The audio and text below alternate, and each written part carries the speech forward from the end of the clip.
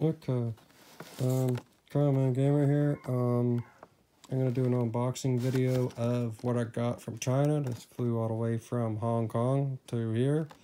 Uh, this is one in 400 Airbus 330 Aer Lingus uh, 300 um, Airbus. Um, okay, I'm gonna open this up. Okay, I'm trying to open this up. Oh, wow, this is hard. Mm. Might have to, might have to do a jump cut. I'm not sure. I'll try to get her. Mm. Mm. It's hard to open up with one hand. Okay, I'm gonna do a jump cut. I'll show you a jump cut. Um, back again. Um, I'm gonna take it out of this thing carefully. Oh man, it's stuck in here. I don't want this to break. Uh, Oh, I got it. Phew, nothing broke. Wow, look at this. There's the wheels.